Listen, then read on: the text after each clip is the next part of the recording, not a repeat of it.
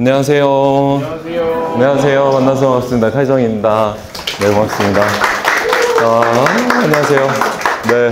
어, 오늘도 역시 만석이에요. 되게 너무 행복하고요. 어떻게 이렇게 강의를 할 때마다 많은 분들이 와주셔서 자리를 많이 채워주시는지 모르겠는데 아마 늦으시는 분들이 좀 있을 것 같고 만석 강의라서 빈자리 없이 하루 동안 잘 진행될 것 같은데 여러분들한테 먼저 제가 오늘 진행할 강의 그리고 간단한 안내사항 안내하고 진행을 해보도록 하겠습니다. 그리고 이제 마지막으로 아, 감사드립니다. 제가 저희 아시죠? 화제 신간 카이정 원장의 체인지업. 네.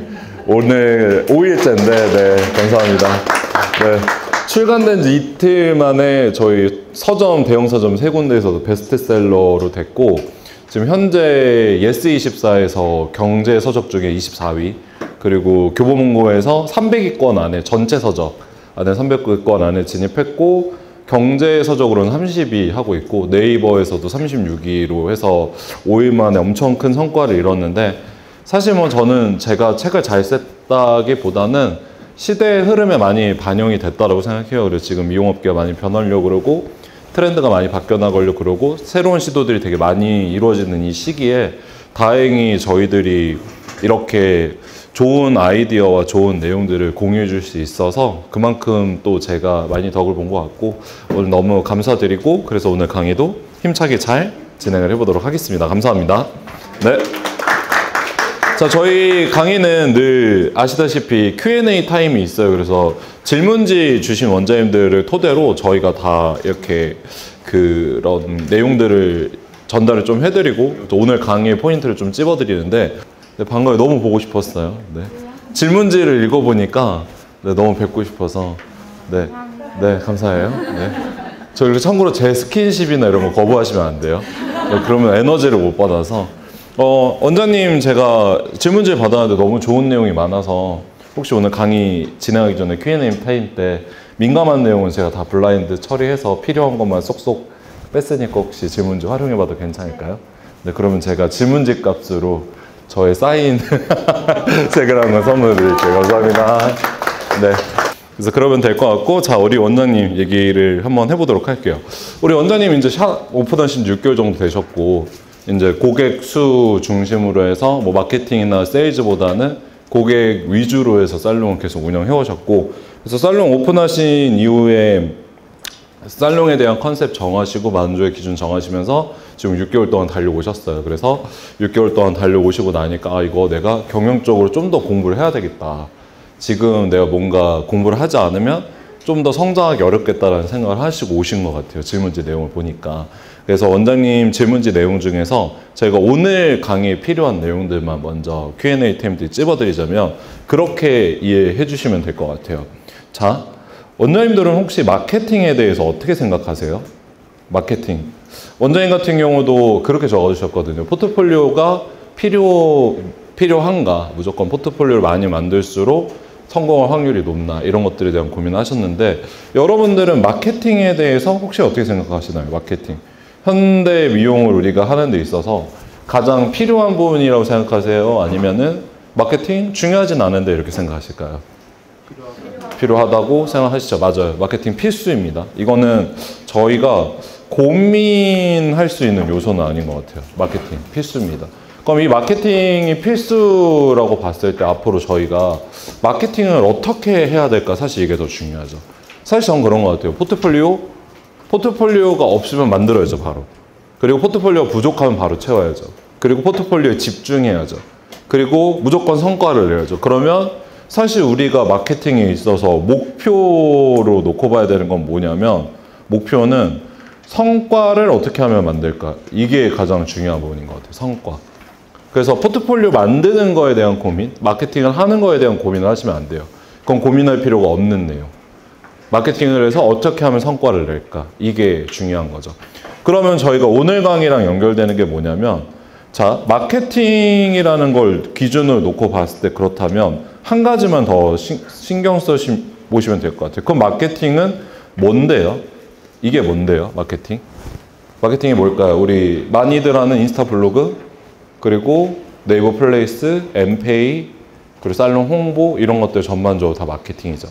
그럼 마케팅은 뭘 해야 성과를 볼 수 있을까요? 이런 것들 고민해 보는 게 되게 중요하죠. 그래서 오늘 저희가 가장 많이 다루는 파트는 프로모션이에요. 일단 먼저. 프로모션을 제가 많이 다뤄드릴 거고, 그리고 이벤트, 이벤트를 다뤄드릴 거거든요. 저는 아마 원장님이 지금 살롱을 성장시키는 부분들에 있어서 약간의 어 뭔가 우리가 더 노력해야 되는 포인트를 찾았다면 그 부분은 어떻게 되냐면 저는 이벤트와 프로모션이라고 생각해요. 제가 한 가지 물어보고 싶은 건 그런 거거든요. 혹시 오픈 이벤트는 하셨나요? 시술적인 부분에서는 하진 않았고요. 네. 제가 원래 그 전 살롱에서 일을 할 때는 회원권이라는 것도 아예 없었거든요. 그쵸. 그 회원권의 이벤트는 했었어요. 회원권 이벤트는 했었는데 따로 오픈 이벤트는 하지 않았다. 그쵸. 그럼 저는 살롱을 성장시킬 수 있는 굉장히 중요한 타이밍을 놓쳤다라고 생각해요. 오히려 포트폴리오 100개 만들고 블로그 100개 쓰고 인스타 100개 하는 것보다 오픈 이벤트 한 번 잘하는 게 진짜 중요하거든요, 살롱에서. 근데 이걸 놓쳤다면 살롱이 우리가 운영을 하면서 유일하게 딱 우리 살롱의 일생 동안 우리 돌잔치 딱 한 번밖에 안 하잖아요. 돌잔치를 빼고 간 거예요. 그럼 당연히 크면서 계속 우리는 무슨 생각을 할까요? 아, 내가 내 자식한테 돌잔치도 못 해주고 미안하다 이렇게 하죠. 그런 상황인 거예요 지금. 근데 제가 그걸 어떻게 알았게요, 원장님? 다 조사해 봤거든요. 이렇게. 제가 질문지를 주시면 다 뒷조사를 해봅니다. 그래서 약간 이 질문지 선정했을 때 이런 질문을 할 때 이게 맞나라고 해서 살롱을 이렇게 다 tracking 했는데 오픈 이벤트에 대한 그게 없더라고요. 6개월밖에 안 됐으면 분명히 금방 뭐 찾아낼 수 있어야 되는데 거의 끝까지 다 봤는데 못 찾았어요, 정확하게. 오픈 이벤트 확실하게 홍보했다고 생각하세요? 아니죠. 그러니까 못 찾았어요. 그러면 사실 저희가 마케팅을 하는 데 있어서 가장 중요한 포인트 하나를 그냥 내가 집중하지 않아서 날렸다라고 사실 표현하는 게 좀 더 맞을 것 같아요. 그리고 프로모션. 이게 그 다음에 또 중요해지죠. 프로모션은 뭘까요? 이제 분기별로 하는 저희가 세일즈를 프로모션이라고 하거든요. 그러니까 프로모션을 다들 이해를 조금 더 집중해서 하려면 그렇게 하시면 될 것 같아요. 스타벅스에서 프로모션 되게 잘해요. 어떤 프로모션 되게 잘할까요? 어떤 프로모션? 계절 음료 계절 음료 맞아요. 그리고 하나 더 있어요. frequency frequency.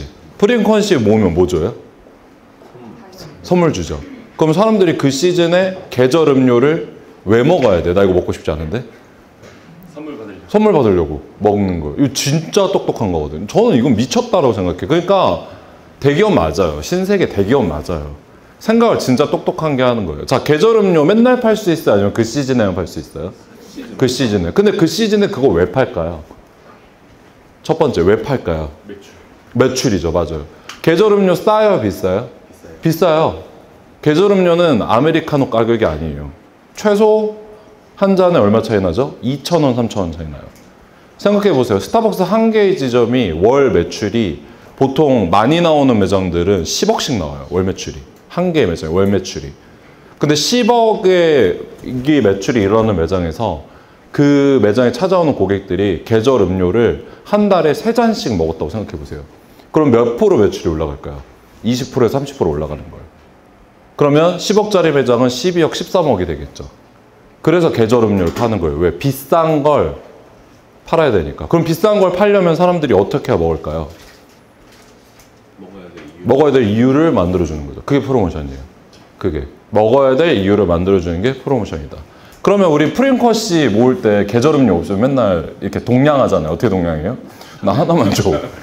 이렇게 하잖아요. 근데 그거 구하기 되게 또 힘들거든요. 그래서 막 동냥도 해요. 근데 이거 왜 하는 거예요? 결국엔 선물 탈라고.